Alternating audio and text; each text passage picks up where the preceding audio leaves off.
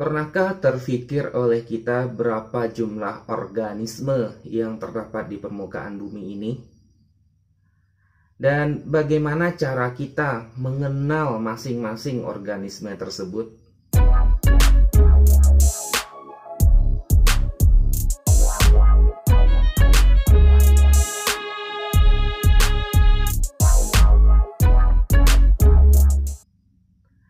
Bumi kita ini memang dipenuhi oleh berbagai macam organisme.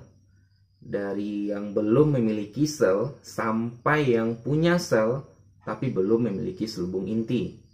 Dari organisme yang bersel satu sampai organisme yang bersel banyak seperti tumbuh-tumbuhan berbiji, hewan, dan manusia. Permukaan bumi kita ini dipenuhi oleh berbagai macam organisme. Bahkan di tubuh kita ini terdapat banyak organisme yang menumpang untuk hidup, baik sebagai parasit sampai kepada organisme yang menguntungkan. Salah satu kelompok organisme yang menghuni permukaan bumi kita ini adalah kelompok kriptogami. Pengelompokan ini dipelopori oleh August W. Eichler yang merupakan pencetus sistem filogenetik pertama kali. Setelah kematiannya, sistem ini kemudian dilanjutkan dan dikembangkan oleh rekannya sendiri yaitu Adolf Engler. Sistem taksonomi ini merupakan suatu sistem yang dapat diterima secara luas. Engler mengelompokkan tumbuh-tumbuhan berdasarkan alat perkembangbiakannya ada kelompok yang tampak jelas alat perkembangbiakannya dan ada kelompok yang tidak tampak alat perkembangbiakannya. Kelompok organisme yang jelas alat perkembangbiakannya ini dikelompokkan kepada panerogami, sedangkan yang tidak jelas alat perkembangbiakannya dikelompokkan kepada kriptogami. Kriptogami merupakan kelompok tumbuh-tumbuhan yang memiliki alat perkembangbiakan tersembunyi. Maksudnya di sini adalah tumbuhan tersebut belum memiliki bunga sebagai alat perkembangbiakannya. Kelompok ini dikelompokkan lagi menjadi talopita, bryopita, dan pteridopita.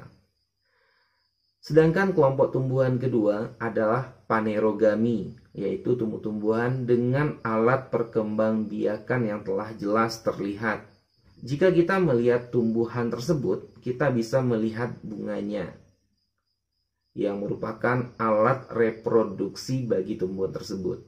Oleh karena itu, panerogami ini dikatakan sebagai kelompok tumbuh-tumbuhan yang memiliki alat perkembangbiakan yang sudah jelas. Pada klasifikasi lain disebutkan kelompok panerogami ini dikenal sebagai spermatopita. Spermatopita ini dibagi lagi menjadi dua kelompok besar yaitu gymnosperme dan angiosperme. Dari segi bahasa, kriptogami berasal dari kata kriptos dan gamos. Kriptos artinya tersembunyi, sedangkan gamos artinya alat perkawinan. Inilah kelompok tumbuhan yang memiliki alat perkawinan tersembunyi atau tidak terlihat jelas akibat sangat kecilnya alat reproduksi tersebut. Tumbuhan ini dikenal juga dengan tumbuhan tingkat rendah atau tumbuhan tidak berbunga.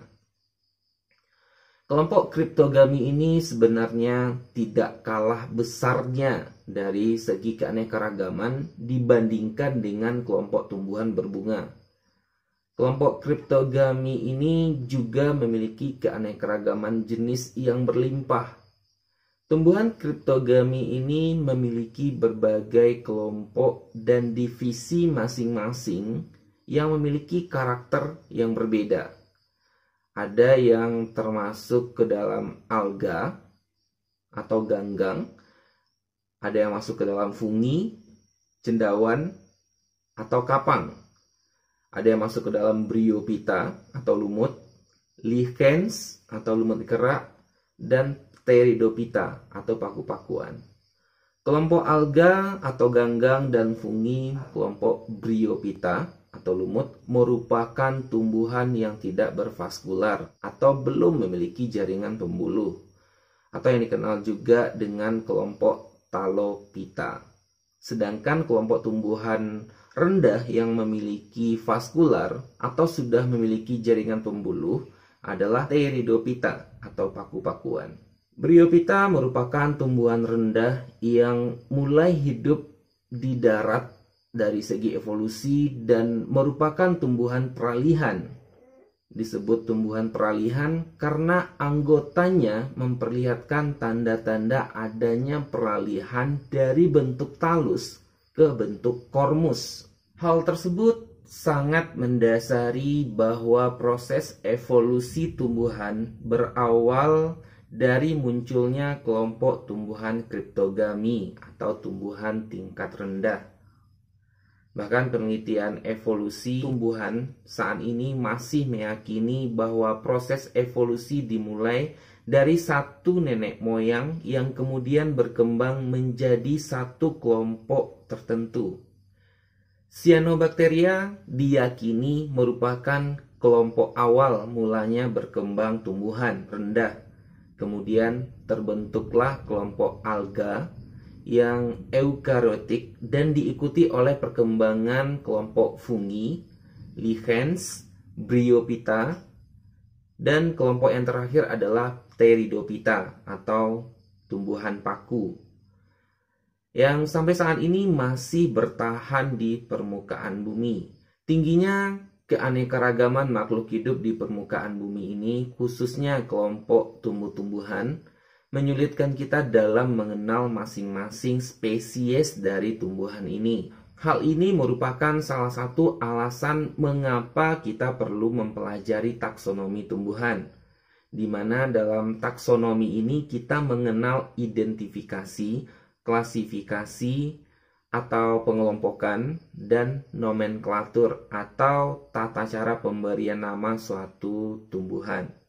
Klasifikasi tumbuhan sendiri merupakan penyusunan kelompok seluruh tumbuhan yang ada di bumi pada takson-takson secara teratur mengikuti suatu hierarki. Sifat-sifat atau karakter yang menjadi dasar klasifikasi berbeda-beda tergantung tujuan yang hendak dicapai dalam taksonomi tersebut. Karakter yang digunakan sebagai karakter dasar klasifikasi tumbuhan adalah karakter morfologi. Dengan karakter morfologi ini kita bisa membedakan suatu individu yang satu dengan individu yang lainnya secara lebih mudah dan tentunya lebih objektif. Indonesia merupakan negara yang memiliki keanekaragaman hayati yang berlimpah, baik flora maupun faunanya. Keanekaragaman hayati dapat memberikan manfaat bagi masyarakat, di antaranya dapat memenuhi kebutuhan manusia. Kita bisa mengetahui mana yang mengandung protein, karbohidrat, lemak, vitamin, dan mineral. Tumbuhan talus adalah tumbuhan yang belum dapat dibedakan dalam tiga bagian utama yang disebut akar, batang, dan daun. Tubuh yang berupa talus itu mempunyai struktur dan bentuk dengan variasi yang sangat besar. Tumbuhan yang memiliki ciri utama berbentuk talus dimasukkan ke dalam divisio talopita Tumbuhan talus ini tersusun oleh sel yang berbentuk bulat hingga banyak sel yang kadang-kadang mirip dengan tumbuhan tingkat tinggi karena sudah mengalami diferensiasi pada organ-organnya. Perkembangbiakannya pada umumnya secara vegetatif atau aseksual dan ada juga yang generatif atau seksual dan dengan spora sebagai alat perkembangbiakannya. Perkembangbiakan generatif terjadi melalui peleburan gamet yang terbentuk di dalam organ yang disebut juga dengan gametangium. Cara hidup pada tumbuhan talus ini ada tiga cara. Ada secara autotrof, heterotrof, dan simbiosis.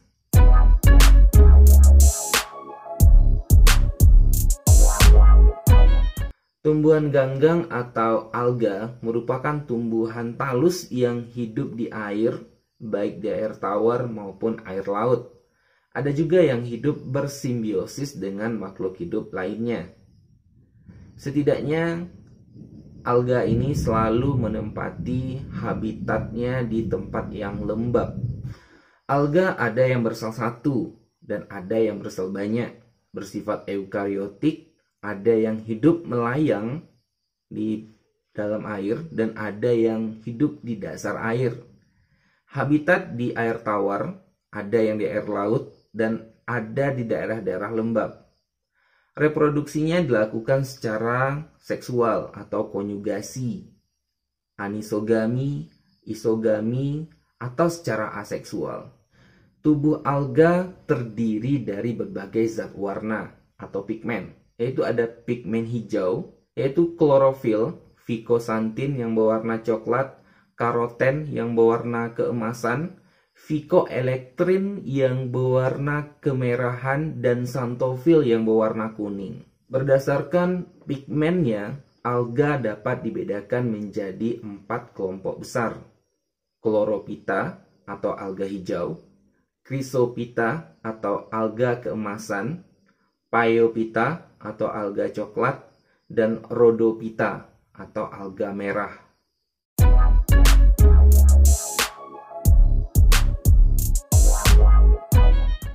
Jamur merupakan organisme uniseluler maupun multiseluler. Umumnya berbentuk benang yang disebut juga dengan hifa. Hifa bercabang-cabang membentuk bangunan seperti anyaman yang disebut juga dengan miselium.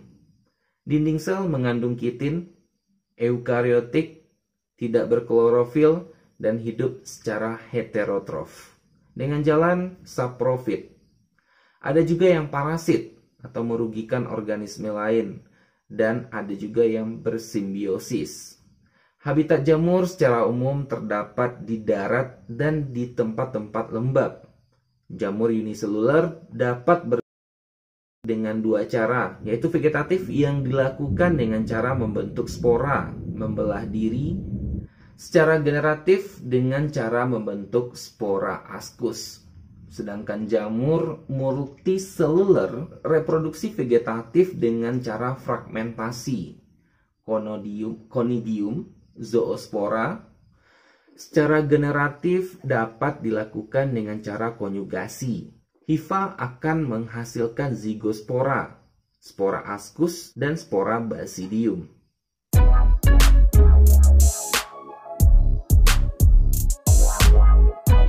Lumut kerak atau lichens ini merupakan simbiosis antara jamur dan alga. Jamur yang bersimbiosis disebut dengan mycobion, biasanya dari jenis Ascomycota, sedangkan alga yang bersimbiosis disebut dengan Phycobion.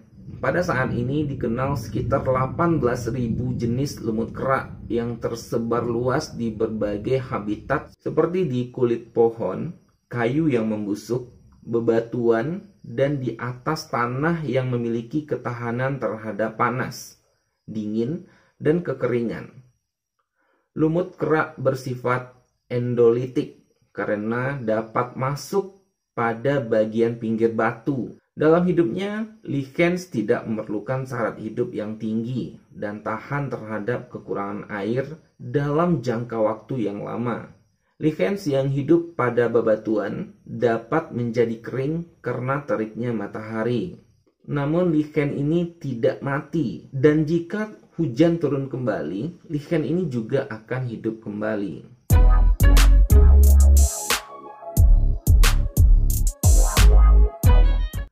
Tumbuhan lumut atau Bryophyta merupakan golongan tumbuhan yang tingkat perkembangannya lebih tinggi daripada Talophyta yang umumnya mempunyai warna yang hijau. Karena sel-selnya dengan plastida yang mengandung klorofil A dan klorofil B.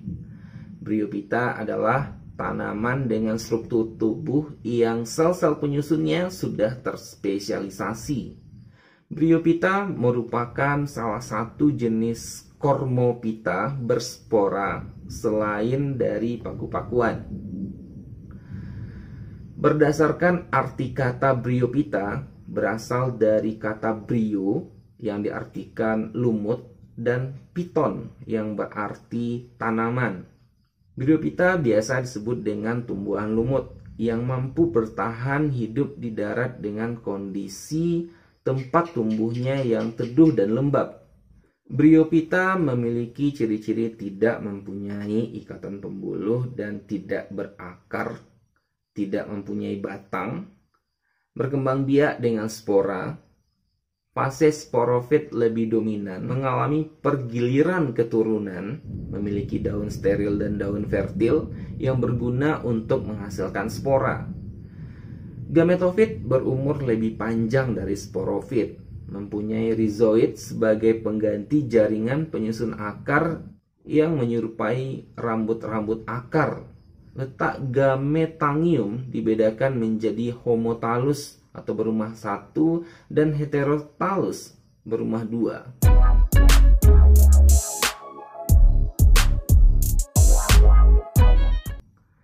Sedangkan pada tumbuhan paku atau pteridopita merupakan golongan tumbuhan yang susunan tubuhnya paling sempurna. Karena tubuhnya dengan nyata ada atau dapat dibedakan menjadi tiga bagian pokok, yaitu ada akar, batang, dan daun.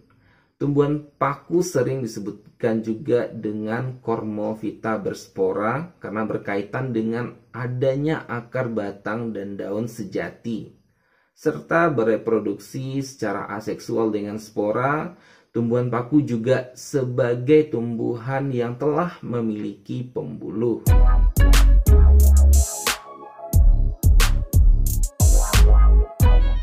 Setelah kita membahas panjang lebar tentang alga, jamur, lichens, lumut, dan paku-pakuan, jadi kelompok kriptogami ini jelas merupakan kelompok organisme yang belum nampak alat perkembangbiakannya. Layaknya kelompok panerogami yang sudah terlihat jelas bunga sebagai alat reproduksinya. Demikianlah video kita kali ini. Sampai ketemu lagi di video-video selanjutnya. Selamat belajar.